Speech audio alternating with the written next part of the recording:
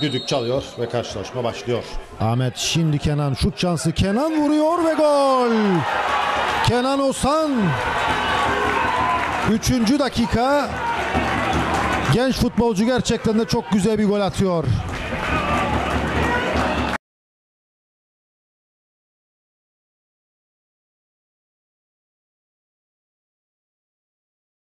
Şimdi kullanıyor. Bilal arkaya aşırdı. Esin'den önce savunma. Çağrı gelişine vurmak istedi. Bir anda sekti yine savunma. Kullandı Mustafa. Sekti top. Bir anda boşta. Yasin vuruşu dışarıya. Aldı Mustafa'nın önüne. 3'e 3 tehlikeli. Samuel şimdi. Döndü Samuel. Vuruş şansı vermiyor Doğan futbolcular. Yasin topu kaybediyor. Arkaya Emin. Şimdi Çağrı var yanında. Hose ile oynadı. Hose, Hose, Çağrı yeniden Emin. Dışarıya doğru gelmedi Kenan'a. Yasin araya girdi. Kenan devam ettirdi mücadeleyi. Şimdi boşta kaldı. Hose vuruyor dışarıya. İyi bir küçük kaymaklı. Avantaj Samuel pası Mustafa ceza alanında Mehmet Mustafa dokunuyor. Son anda inanılmaz bir golü çıkarıyor Mehmet Yıldız.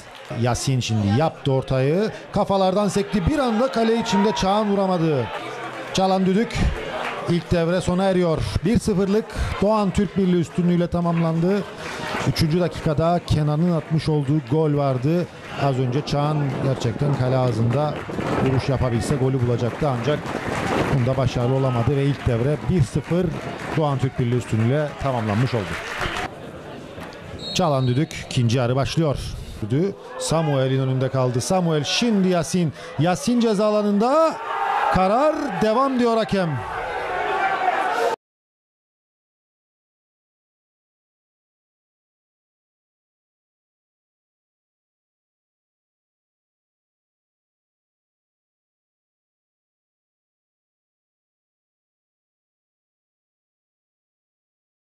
Açık bir offside aslında ama hakem biraz bayrağı geç kaldırınca tartışmaya yol açtı.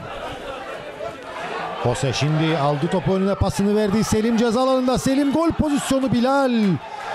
O kadar kritik bir müdahale yaptı ki Bilal. ikinci golle burun buruna gelmişti Doğan Türk Birliği oyuncular. Orta şansı Aydın yaptı ortayı şimdi. Savunma arkaya sekti. Bir kafa kaleci Türkkan. Derken Derviş kaptı topu bir anda Kenan şimdi 2'ye 2 pozisyon Kenan pasını verdi Jose ceza alanında Jose Jose döndü Jose vurdu ve gol Jose ile fark ikiye çıkıyor. Doğan Türk Birliği tribünleri neredeyse yıkılacak. O derece büyük bir sevinç yaşıyor Doğan Türk Birliği.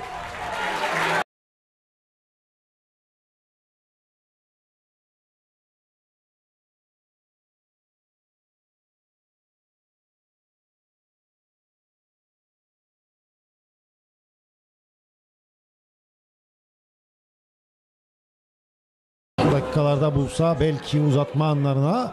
Ozan doşta kalıyor ağlarda. Tam da bahsettiğimiz gibi oldu. Şu dakikalarda bulunacak bir gol uzatma anlarında. Küçük kaymaklı için bir beraberlik şansı doğurur demiştik. Hamis topu ağlara gönderiyor.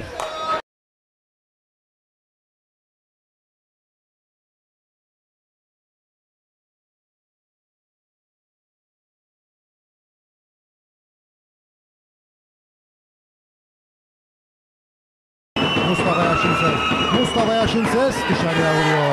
Out. Hamis vurdu kafayı. Mehmet Sezener maçı bitiriyor.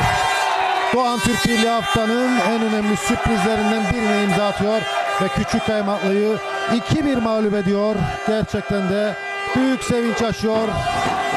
Genç futbolcular çok kritik bir galibiyete imza atıyorlar. Zirveyi de yakından ilgilendiren bir değişim oluyor. Yeni Cami yeniden 3 puan farkla lider oluyor. Lefke puan farkını Küçük Kaymaklı ile 1'e indiriyor ve gelecek hafta da Küçük Kaymaklı Lefke maçı olacak. İşte Doğan Türk Birliği futbolcuları teknik heyeti gerçekten de büyük başarı. Bu da çok önemli başarı.